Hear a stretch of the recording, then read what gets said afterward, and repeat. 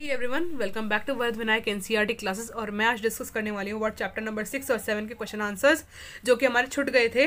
मैंने जो एक वीडियो बनाई थी फटाफट मैंने एक वीडियो बनाई थी दो चैप्टर्स की वीडियो बनाई थी एक दिन मैंने अपलोड करी थी तो उन दोनों में मैंने क्वेश्चन आंसर्स जो है वो छोड़ दिए थे। तो कई बच्चों के मेरे को रिक्वेस्ट आई थी कि मैम आप आपने वो उनके क्वेश्चन आंसर छोड़ दिए तो प्लीज़ आप उनको करवा दीजिए। सो so, मैं आपको एक separate video chapter number six और सेवन की अभी के अभी इसी वीडियो में आपको बताने वाली हूँ कि कौन कौन से क्वेश्चन आंसर्स करने हैं ठीक है?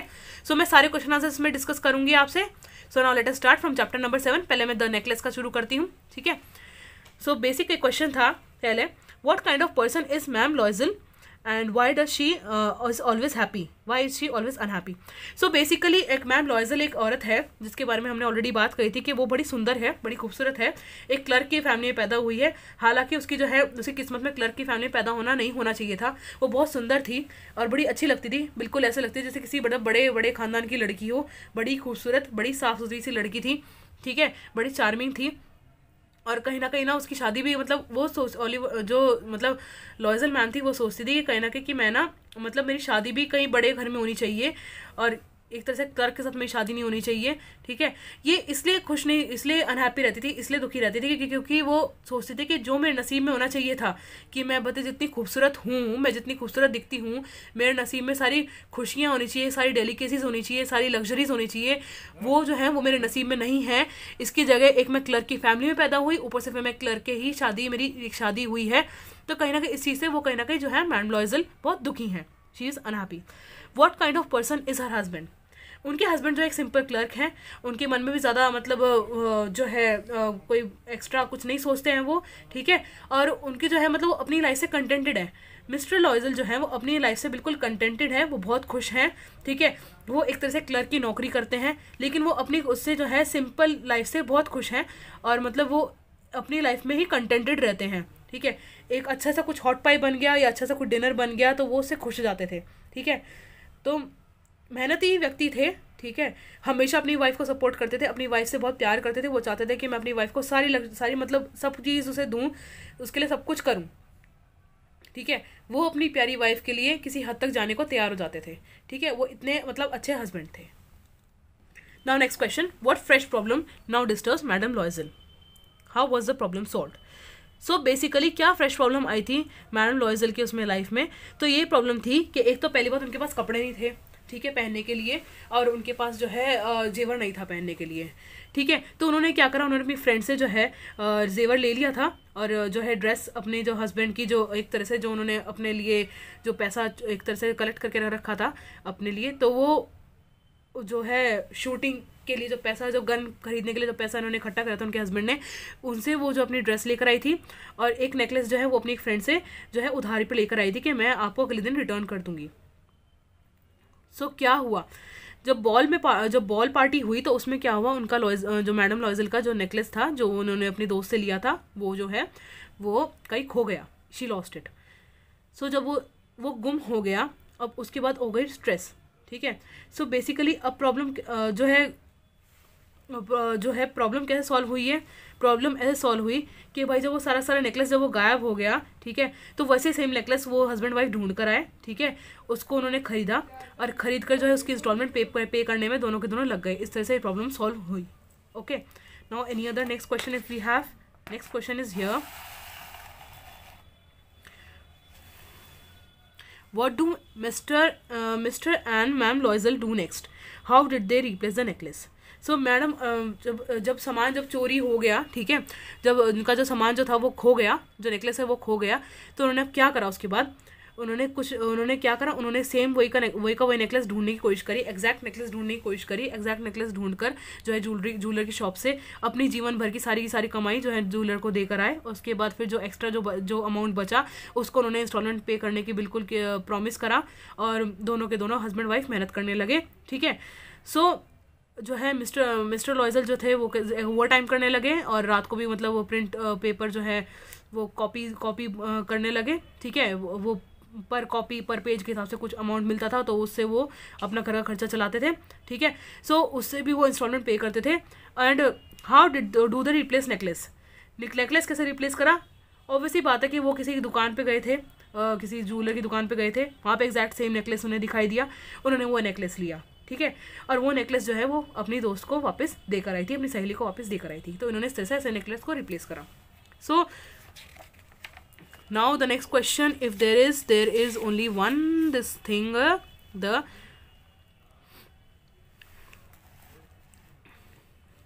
the question the course of Loisel's life change due to necklace comment Loisel's की लाइफ जो है चेंज हो चुकी थी नेकलेस की वजह से। यस. नेकलेस से पहले जो थी लॉयजल मैम मैडम लॉयजल जो थी, वो बड़े आराम से रह सकती थी। मिस्टर लॉयजल ने कहीं ना कहीं थोड़ा बहुत जमा जमा कर रखा था अमाउंट ठीक है? वो उससे कुछ अपने लिए अपने लिए खरीद सकते थे, ठीक है? वो एक गन खरीदना चाहते थे, वो भी शूटिंग पे जाना चाहते थे तो वो कर सकते थे। मैडम लॉयजल को थोड़ा बहुत अपना अमाउंट दे सकते थे, ठीक है? उसमें थोड़ा बहुत मैडम लॉयजल अपने अपने ग्रूमिंग के ऊपर खर्च कर सकती थी, जिससे वो देख के वो खुश हो सकती थी। हो सके वो लोग नए घर में शिफ्ट हो सकते थे, ठीक है? एक जब एक पर्सन के पास जमा पूंजी हो जाती है ना तो उसके बाद वो बहुत कुछ कर सकता है उसका या तो उसे वो बढ़ा सकता है या फिर उसे लगा सकता है या फिर उसके उससे मतलब क्या कहते हैं कुछ भी अपनी लग्जरीज जो है, वो जो है मेंटेन कर सकता है। लेकिन क्या हुआ, जब से उन्हें नेकलेस मिला, जब से उन्हें नेकलेस नेकलेस जो है, वो नेकलेस उनकी लाइफ में आया और वो हुआ चोरी, उसके बाद प्रॉब्लम होनी शुरू हो गई, ठीक है? वो नेकलेस गुम हो गया तो और प्रॉब्लम होनी शुरू हुई। उस नेकलेस की वजह से क्या हुआ कि उन लोगों को जो है अपनी जमा पूंजी देनी पड़ी, उसके बाद फिर उन्हें जो है ओवर टाइम काम करना पड़ा। मैडम को भी, मैडम लॉयजल को अपने नखून घिसने पड़े, ठीक है? उन्हें एक छोटे से घर में जाकर रहना पड़ा। वहाँ पे उन्हें ढंग में खाना नहीं खा पाए, ढंग से वो जीवन नहीं जी पाए, ठीक है? वो कुछ भी अच्छे से नहीं कर पाए हैं, ठीक है? वो जो अपने जीवन के जो दस साल सुनहरे, जो दस साल अपने गुजार सकते थे, वो एक अपने लिए, अपनी नेक्स्ट जनरेशन को ला सकते थे, वो एक बच्चा कर सकते थे, वो एक अच्छी सी मैरिड लाइफ जी सकते थे, वो सब चीज़ उनकी लाइफ में ख़त्म हो चुकी just because of one necklace so this is what the problem happen next question what was the cause of Mathilde's ruin how did she would awarded it basically Mathilde जो थी, वो अपने बारे में सोचती थी कि मैं बहुत ही मतलब जो हूँ, मैं बहुत सुंदर हूँ और मुझे जो है इन लड़कों की फैमिली में पैदा नहीं होना चाहिए था। वो अब चलो, मैं मानती हूँ कि आप अगर प्रिटी हो तो अगर आप किसी क्लर्क की फैमिली में जाते हो तो इसमें कोई प्रॉब्लम नहीं है। आप अपने आप को मेंटेन करके रखो। You maintain up to the standards of clerks if you are a clerk okay so Mathilde ने अपने आप को बहुत बड़ा चढ़ा के रखा हुआ था। वो सोचती थी कि मैं बहुत सुंदर हूँ, मैं बहुत अच्छी हूँ और वो कहीं ना कहीं ना मतलब अगर वो एक क्लर्क की फैमिली से थी तो वो कहीं ना कहीं अपने आप को मतलब उस चीज़ से एक्सेप्ट नहीं कर पाती थी। वो क्लर्क से शादी हुए वो उस चीज़ को एक्सेप्ट नहीं कर पाती थी। वो चाहती थी कि मैं भी और मतलब नॉबल औरतों की तरह लगूँ और इस जो नेकलेस जो चोरी हुआ, इस कांड को अवॉइड कर सकती थी मैम ताकि वो कैसे कि जब उनके हस्बैंड ने कहा कि फ्रेश फ्लावर्स यूज़ कर सकती हैं तो आप जो है, कोई फ्रेश फ्लावर यूज़ कर सकती थी, वो एज अ प्रॉप या फिर कोई एक जो है चीप नेकलेस आर्टिफिशियल नेकलेस ले सकती थी वो, ठीक है? या ड्रेस हो सके, थोड़ी सस्ती लेकर उसके साथ नेकलेस ले सकती थी, ठीक है? सो बेसिकली इस चीज़ को अवॉइड कर सकती थी वो इस चीज़ में ठीक है? या फिर हो सकता है कि वो अपनी फ्रेंड को बता देती है अगर उनसे गलती से अगर मतलब ये चीज़ अगर चोरी अगर मतलब ये चीज़ खो भी गई थी तो अपनी फ्रेंड को बता सकती थी कि मैं, मैं मेरे से खो गया है यही सेम नेकलेस मैंने कहीं और देखा है क्या मैं तुझे वापस करके पे कर सकती हूँ? क्या ऐसा कुछ हो सकता है? तो ये बात वो वर्कआउट भी कर सकती डिस्कस भी कर सकती थी इस चीज़ को। Next what would happen to Mathilde if she had confess to her friend that she had lost her necklace देखो इस क्वेश्चन के दो पहलू हो सकते हैं क्वेश्चन नंबर थ्री के। कि मिथिल्डा अगर अपना कन्फेस करती, अगर वो रियल नेकलेस होता तो ऑब्वियसली बात है मिथिल्डा की फ्रेंड जो है थोड़ा सा गुस्सा करती इरिटेट होते, लेकिन फ्रेंड से कब तक गुस्सा हो सकते हैं? तो वो बोलती, चलो ठीक है, अगर तुमसे खो गया तो कोई प्रॉब्लम नहीं है, तुम इतना इतना अमाउंट मेरा पे कर दो हाफ़ अमाउंट पे कर दो, ठीक है? तो भी मतलब इतना दिक्कत ना आती, ठीक है? नेक्स्ट थिंग इज़ कि उनकी फ्रेंड उनकी फ्रेंड जो है वो बोल देती, अरे, वो तो नकली था, अगर वो खो भी गया तो कोई प्रॉब्लम नहीं है, ठीक है? तो मिथिल्डा हो सके जो जो है मिथिल्डा जो है वो इस, जो है, जिस, जितने डेप्थ में डेप्थ में इसको आके मतलब खर्चा करना पड़ा तो उस चीज़ से वो बच जाती, ठीक है?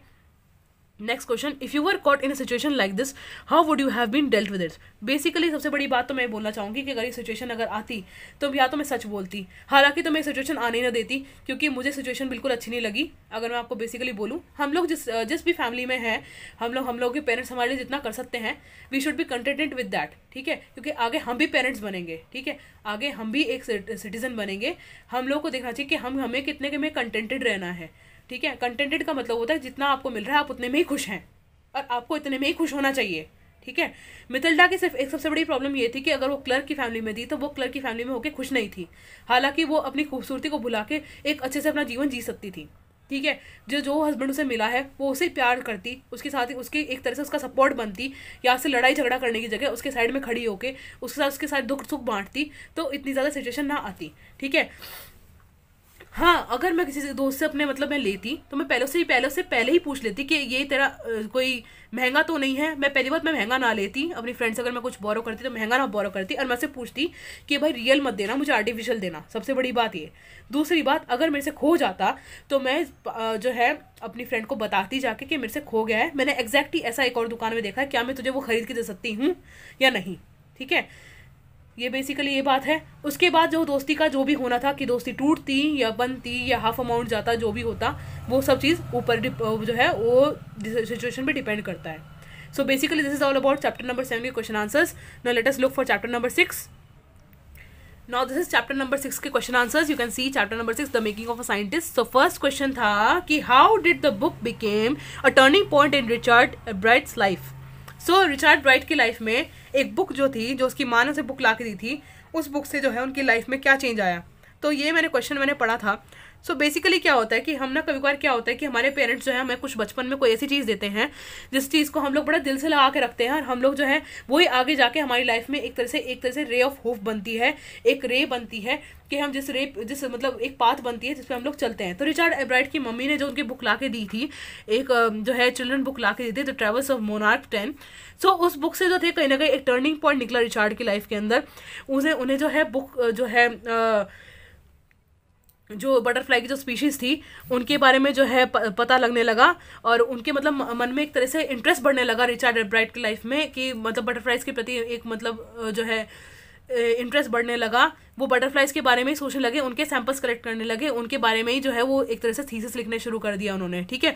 बचपन से लेके बड़े होते तक उन्होंने जो है अपना पूरा का पूरा टाइम जो एक्स्ट्रा टाइम हो एज अ हॉबी लगाया, वो इसी चीज़ में लगाया, ठीक है? सो एक सिंपल बुक ने उनकी लाइफ में ये टर्निंग पॉइंट क्रिएट करा है ठीक है? इस सिंपल बुक से ही जो है, उन्हें एक तरह से जो है, उन्हें अपना एक जो आगे जो है, एक पाथ मिला, वो जाकर एक सक्सेसफुल एक साइंटिस्ट बने। How did his mother help him basically जो रिचार्ड ब्राइट की जो मदर थी, वो रिचार्ड ब्राइट के लिए एक तरह से राइट हैंड राइट हैंड की तरह कह लो या एक प्रॉपर सपोर्ट कह लो, ठीक है? वो सब चीज़ उनकी हेल्प करती थी, वो कहीं ना कहीं उसे मतलब एक लर्निंग के इंटरेस्ट में उनको इंकरेज करती थी। हम लोगों ने उसमें पढ़ा था। आप नेक्स्ट पेज में चैप्टर नंबर जो सिक्स है उसके पेज में सबसे ऊपर आप देख सकते हैं पेज नंबर थर्टी थ्री पर ही देखना ऊपर। लिख रखा है कि मतलब बचपन से ही उनकी मम्मी जो थी एक पूरा उनके मतलब उनके आसपास ही उनकी दुनिया थी ठीक है? मम्मी ने उनको इंटरेस्ट दिया लर्निंग में उन्होंने उसे एक ट्रिप में आ, मतलब हेल्प करी ट्रिप पे लेके गई घुमाने लेके गई वहाँ पे टेलीस्कोप दिया देखने के लिए माइक्रोस्कोप माइक्रोस्कोप दिया ठीक है? छोटी चीज़ों को देखने के लिए कैमरा दिया ठीक है? माउंटिंग मटेरियल यानी स्लाइड बनाने की जो मटेरियल चाहिए होता है वो भी ला के दिया। इक्विपमेंट्स ला के दिए, ठीक है? तितलियाँ पढ़ पढ़ के ला के दी, सब चीज़ें करके दिया, ठीक है? तो उनकी मदर ने उनकी इस तरह से हेल्प करी। एक तरह से मदर ने उनकी मतलब एक तरह से उनकी मदर ने ऑल राउंड उनकी हेल्प करी है। एक सपोर्ट सिस्टम बन के उनकी लाइफ में खड़ी हुई है उनके लिए, ठीक है? What lesson did Bright learn when he did not win anything at the science fair basically Richard Bright जो थे, उन सर ने जो है, क्या करा? उन्होंने सर ने बहुत सारी चीज़ें कलेक्ट कर रखी थी, ठीक है? और कलेक्ट करके उनके ऊपर थीसिस या कुछ भी ऐसा लिख रखा था, ठीक है? उन्होंने डिस्प्ले भी कर रखा था। लेकिन क्या हुआ कि जब हम साइंस प्रोजेक्ट में जाते हैं साइंस लैब में जाते हैं या साइंस किसी फेयर में जाते हैं, आप लोग देखना वहाँ पर हमेशा वर्किंग मॉडल ज़्यादा माने जाते हैं। रिचार्ड ब्राइट सर का जो मॉडल जो था वर्किंग मॉडल नहीं था, वो सिर्फ़ एक तरह से कलेक्टिंग सैम्पल्स था और डिस्प्लेइंग सैम्पल्स था, ठीक है? सो इस चीज़ से वो रिचार्ड ब्राइट समझ पाए कि कहीं ना कहीं मुझे नेक्स्ट टाइम जो है साइंस फेयर में क्या करना है, एक वर्किंग एक्सपेरिमेंट लेकर आना है। Okay what experiment and projects had he undertake so क्या क्या एक्सपेरिमेंट और प्रोजेक्ट उन्होंने अपने अंडर लिया? एक तो हमने पढ़ा था कि इसमें इन्होंने जो है डिफरेंस बताया था। एक तो monarch butterfly vice viceroy butterfly के बीच में जो डिफरेंस था उसके बारे में बताया ठीक है?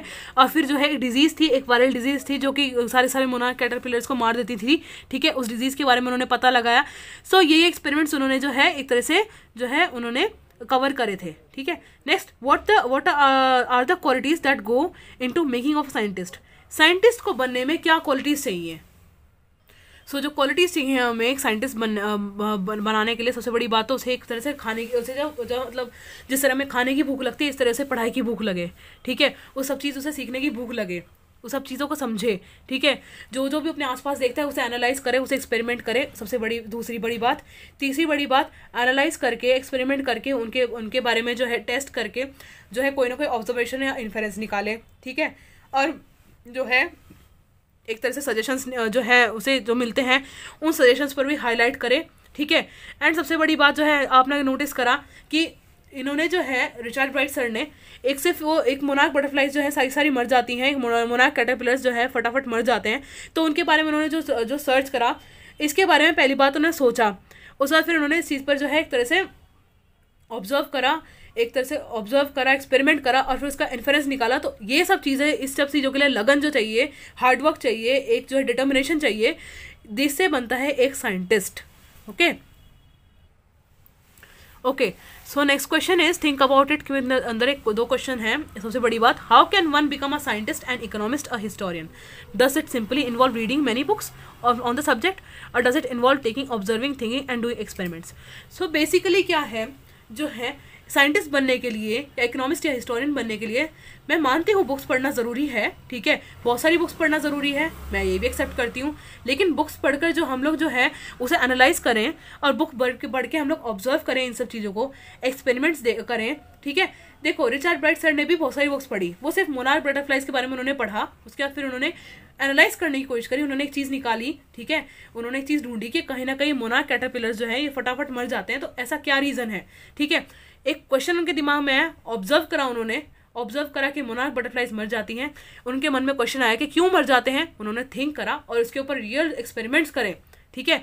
सो एक साइंटिस्ट को बनने के लिए, ठीक है? एक साइंटिस्ट बनने के लिए हमें हमेशा जो है एक्सपेरिमेंट्स देखने पड़ते हैं एक्सपेरिमेंट्स करने पड़ते हैं एनालिसिस करना पड़ता है, उसका इन्फेरेंस निकालना पड़ता है रिज़ल्ट निकालना पड़ता है और सबके सामने हमें फिर से उसी एक्सपेरिमेंट को करके प्रूव करना पड़ता है थीसिस लिखनी पड़ती है, ठीक है? तो ऐसे एक साइंटिस्ट बनता है, ठीक है? सही बात एक इकोनॉमिस्ट की ठीक है इकोनॉमिक्स बनने के लिए हमें क्या करना पड़ता है? पहली बात तो इकोनॉमिक्स के बारे में बुक्स पढ़नी पड़ती है। इकोनॉमिक्स के बारे में जो है, हमें टर्म्स पढ़ने पड़ते हैं कि भाई जीडीपी और क्या कहते हैं एनएनपी या जी क्या क्या क्या होता है वो? जीएनपी ठीक है? ग्रॉस नेशनल प्रोडक्ट होता है ग्रॉस डोमेस्टिक प्रोडक्ट होता है नेट नेशनल होता है नेट डोमेस्टिक होता है, ठीक है? सो एक फैक्टर कॉस्ट होता है, पता नहीं कितना कितना इकोनॉमिक्स में होता है, ठीक है? सो इकोनॉमिक्स में इतने सारे जो है जो है टर्म्स आते हैं, पहले तो उनको पढ़ो उनको एनालाइज करो। फिर हमारी जो जो है इकोनॉमी इसको एनालाइज करो, ठीक है? और पहले हमारी इकोनॉमी कैसे थी, बाद में हमारी इकोनॉमी कैसे हुई, उसको एनालाइज करो, ठीक है? सो बेसिकली इसमें भी इन्वॉल्व होता है एक तरह से learning observing thinking and experimenting ही होता है। और आगे क्या होगा, हम इकोनॉमिक्स जो है इकोनॉमिक्स क्या करते हैं? आगे के बारे में बताते हैं कि अगर हम जो है, अगर जो है, अगर जो हम हैं, जो कुछ जो एक तरह से देश के जो सैलरी है या देश का मैं कहूँ अमाउंट है कुछ मॉनिटरी जो इश्यूज़ हैं ठीक है उसे हम सॉल्व कर सकते हैं ठीक है? कैसे? कि हम कुछ कुछ अमाउंट जो है हमारा जो है ट्वेंटी फाइव परसेंट अमाउंट हम कहीं और डिविएट कर सकते हैं तो वहाँ से हमें उसका दो गुना मिलेगा वापस होके हम फिफ्टीन परसेंट कहीं और कर सकते हैं उसे तीन गुना वापस मिलेगा ठीक है? यहाँ पे रिस्क ज़्यादा है तो यहाँ पे ना करें यहाँ पे रिस्क कम है तो यहाँ पे हमें करना चाहिए ठीक है? सो so, इस बारे में इकोनॉमिस्ट जो है एनालाइज करते एक्सपेरिमेंट करते हैं, तब जाके इकोनॉमिस्ट बनते हैं। ऐसे हिस्टोरियन की बात होती है। हिस्ट्री हमें पहले पढ़नी पड़ती है। हमें इंडिया की हिस्ट्री पढ़ेंगे, तभी तो हमें समझ में आएगा। अगर हम इंडिया की हिस्ट्री पढ़ते हैं, तभी हमें समझ में आता है कि आगे जो है, जब हम कहीं एक्सकेवेशन करते हैं, या कोई चीज़ हमें कहाँ से मिली है, और उसकी उसका जो है, पीछे की बैकग्राउंड क्या है, उसके बारे में तभी तो पता लगेगा, और तभी हम ढूंढ पाएँगे। अगर सपोज़ हमें कोई चीज़ मिल जाती है, कोई एक जो है कोई एक आर्टिफैक्ट मिल जाता है हिस्टोरी हिस्ट्री का तो हम लोग सोचेंगे कि कैसे आया। या हमें कोई पुरानी फॉसिल मिल जाती है, जिसमें कि कोई घोड़े के पैर का निशान बना हुआ है तो ये घोड़े का पैर का निशान तो आज के घोड़े के पैर के निशान से थोड़ा सा मतलब मोटा है, बड़ा है तो ऐसा कैसे हुआ? ठीक है तो कब ये घोड़े आते थे? कब ये इनसे इनसे बड़े बड़े वाले जो है मतलब जो है तगड़े घोड़े कब आते थे? स्ट्रॉन्ग घोड़े, या क्या ये रेस थोड़ी सी कम हो गई है? ऐसे ऐसे एनालाइज करके जो है एक्सपेरिमेंट्स होते हैं, ठीक है? बुक्स रीड करने से भी होता है, मैं मानती हूँ, लेकिन ये भी है कि जो है ऑब्ज़र्व थिंकिंग एक्सपेरिमेंट्स करना भी बहुत ज़रूरी है, वो अपनी जगह ज़रूरी है। Next question you must have read this book about cells and DNA in your science book yes हमने क्लास टेंथ में बायो में हमने पढ़ा है। डीएनए सेल्स मैंने आपको पढ़ाया है, हालाँकि कई बच्चों ने कहा है, नहीं मैम नाइन्थ का लग रहा है पर मैंने आपको पढ़ाया है, ठीक है? Discuss Richard Bright work in the light of what you have study If you get an opportunity to work like Richard Bright on the projects and these experiments, which field would you like to work on and why? So so, ये question मैं आप लोगों को नहीं बता सकती क्योंकि ये क्वेश्चन आपको अपनी बुद्धि लगानी पड़ेगी ठीक है? रिचार्ड ब्राइट का वर्क जो था लाइट के अंदर ठीक है वो हमें डिस्कस करना है ठीक है? सो so, इसमें जो था रिचार्ड ब्राइट का वर्क था यहाँ पे ऑलरेडी लिखा हुआ है मैं दिखाती हूँ आपको। हाँ ये रहा। ठीक है? रिचर्ड ब्राइट ने कैसे कैसे काम करा? उन्होंने सेल जो थी वो मोनार्क विंग में से लिए उन्हें कल्चर करा डिवाइड करा ठीक है? नॉर्मल बटरफ्लाई ग्रो हुई और फिर उन्होंने जो है वो टाइनी गोल्ड स्पॉट्स के अंदर से जो है हार्मोन निकाल कर फिर जो उन्होंने उन्होंने एक्सपेरिमेंट करा उसके बारे में आपको बताना पड़ेगा इसके अंदर ठीक है? और आप क्या एक्सपेरिमेंट करना चाहोगे आप बताएँगे ठीक है? सो so बेसिकली इस क्वेश्चन के लिए आप जो एक्सपेरिमेंट करना चाहोगे वो करना कि आ, कुछ भी एक्सपेरिमेंट कर सकते हो कि मतलब ये जो है, मैं एक चीज़ ढूंढना चाहूँगी कि इसमें जो है, इसने एक जगह कहीं लिख रखा था। हालाँकि तो मुझे बहुत टाइम हो गया इसको पढ़े हुए बुक को, कि ये जो बचपन में जो ये जो बटरफ्लाइज को टैग करके जो थे, वो टैग करके जो उड़ाते थे, लेकिन वो क्या कहते हैं, वो कुछ ही जो है कुछ ही डिस्टेंस तक वो ट्रैवल कर पाती थी। तो ऐसा क्या होता था कि बटरफ्लाई वो कुछ ही डिस्टेंस तक ट्रैवल कर पाती थी और जो भी मतलब इतनी दूर दूर तक ट्रैवल नहीं कर पाती थी। तो मैं अगर एक्सपेरिमेंट करना चाहूँगी तो मैं उसके ऊपर एक्सपेरिमेंट करना चाहूँगी, ठीक है? सो बेसिकली ये ना आपका बायो में आएगा, ये हालाँकि इसमें जूलॉजी में आ जाएगा थोड़ा सा अगर मैं बोलूँ तो और हल्का सा जोग्राफी में भी आ जाएगा, हो सके वार्म कंडीशंस की वजह से, हो सके कोल्ड कंडीशंस की वजह से, हो सके खाने की वजह से, या कुछ भी हो सकता है, ठीक है? तो अगर मैं काम करना चाहूँगी तो मैं इस चीज़ पर काम करना चाहूँगी। So basically this is all for your chapter number six and seven please don't forget to like share and subscribe my channel and yes happy Makar Sankranti to all of you okay? And please don't forget to press the bell icon. Thank you so much and have a nice day. All the best for your boards